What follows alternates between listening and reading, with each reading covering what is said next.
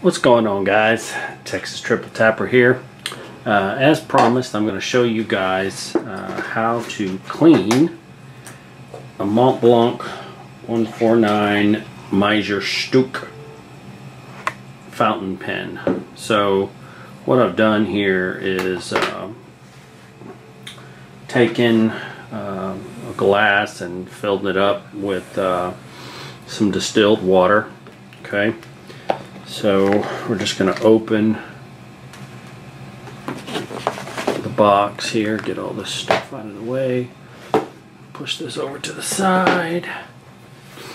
And first things first is we're just going to um, start to drain out the old ink and I'm just going to kind of submerge this. You already see some of the ink starting to come out but when I start to See, you see more of it flow out. And it's turning pretty black. Montblanc recommends that you do this um, about every three months um, just to uh, keep the piston clean and keep the ink flowing well so that there's no issues and like I said I just prefer to use distilled water. So what I'm going to do is just submerge this back and forth a few times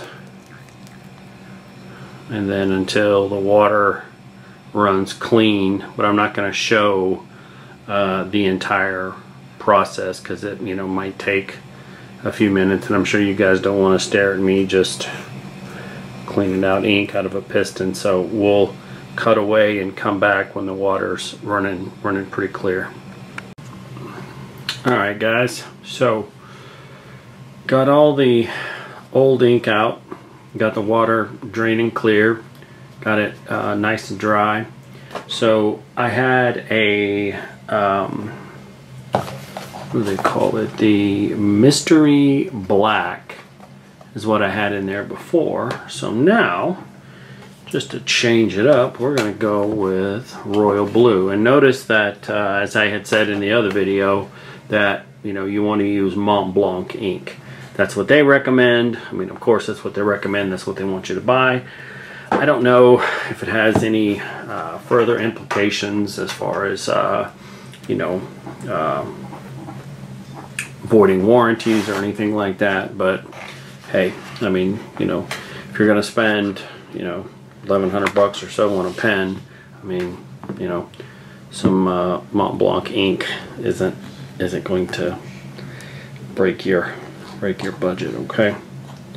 So basically, what we're doing here is we're just taking this off. Oh, and I guess this part had kind of come off from the way it was in there,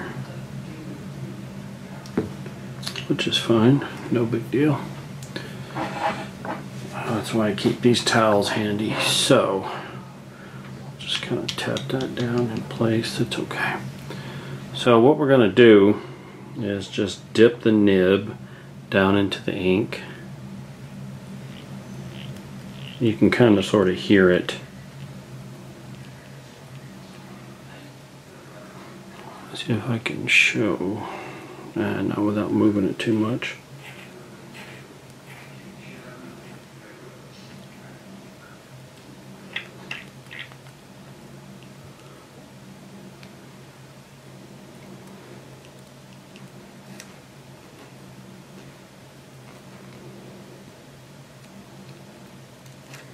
Yeah, still got maybe a couple more.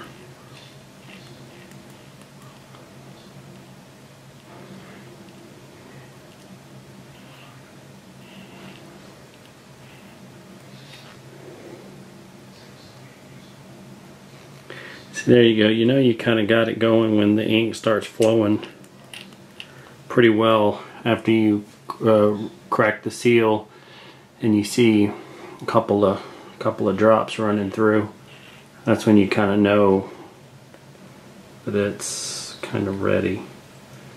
So, plus, you can take a light here and kind of shine it into the barrel there and kind of see that there's not really anything translucent it's not showing through so it looks like it's pretty full. But I'm gonna do the process one more time. And then of course see I got a bunch of ink on the nib. I'm gonna kind of scrape some of that off. Going around. There's a bunch of ink too on the back. See all that ink's kind of just running down the sides there? That's all from the back, this part back here, this graded part, which you actually don't put your fingers there to write with.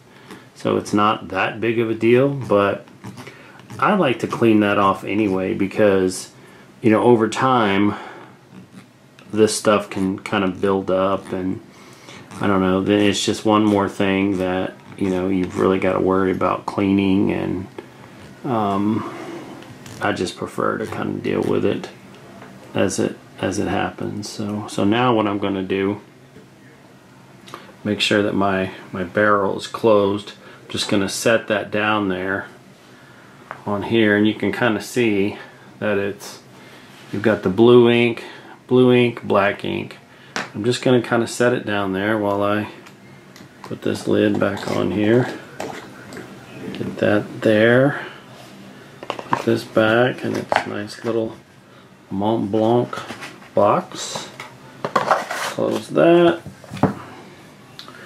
There's my other one. Move that out of the way.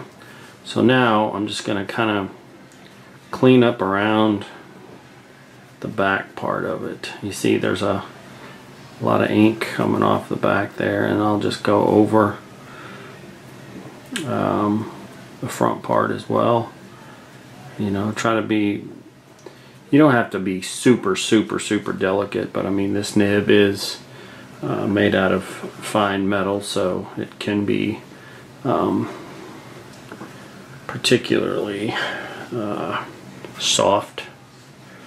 So just be careful. And just going to kind of give it a good clean here. Got most of that blue off the back we go over the top yeah and it never fails I always get some on my fingers so what I'm actually going to do is throw that one away and just move on to a whole nother one. I generally steal these from hotels that I stay in. Yeah, I know I'm bad, but whatever. I spend a lot of money at hotels. Don't judge me. Okay, so that's it's actually looking looking pretty good. So I'm gonna put the put the cap on here and um, I'm going to find, I'm to get a uh, little piece of uh, same kind of paper I had used the other day, the, the tool. It seems to work well for the pen. Get one of those. Push this out of the way. And I will see what she looks like.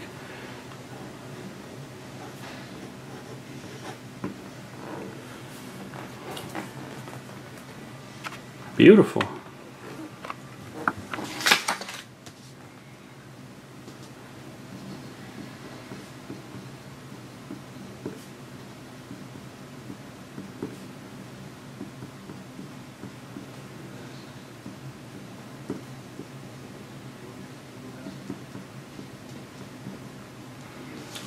Huh. Yeah, I mean, it's great. It doesn't have any skips or anything like that. I mean, it just, you know, goes back to the way it was. And, you know, 20 minutes ago it had black ink in it and now it's got blue ink. And it's just that simple. So, you know, like I said, whether or not you want to change the ink or keep the same ink, you still need to do this kind of process, like said, like Montblanc suggests, about every about every three months. Um, what I would suggest too is that if you're getting, if you know you're getting towards the end, and you know before you would do a complete refill, and you maybe you know, only have like two weeks or something left, I wouldn't even, you know, do a complete refill. I'd just go ahead and if you know you're running low, just go ahead and clean it. And if it's only been two months, no big deal. You know, you want to try to cut down on wasting ink as much as possible. So, hope you guys enjoyed this video. Hope it was helpful. Um, hopefully you guys will uh, be able to put it to use and keep your Montblanc writing instruments writing forever. Until next time, to Triple Tapper out.